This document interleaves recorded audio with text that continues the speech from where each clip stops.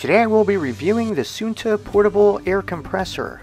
I ordered this product as many of our soccer balls needed to be inflated, and it just takes so long to manually pump each one, and you don't even get them as full as they should be. This product includes the electric air compressor, which is pretty small considering what it does. It really looks great, and the design is sleek and compact.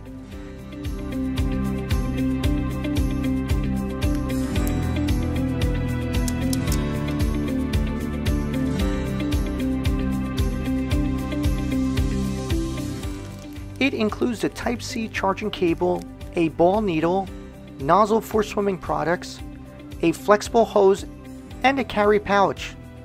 To set up, just attach the flexible hose to the pump and then attach the ball needle in our case to inflate soccer balls. There is no need to remember the pressure numbers as this pump is already pre-programmed for you. With the front controller you can select motorcycle, bicycle, ball, or a custom setting we're selecting the ball setting and have a deflated ball with us.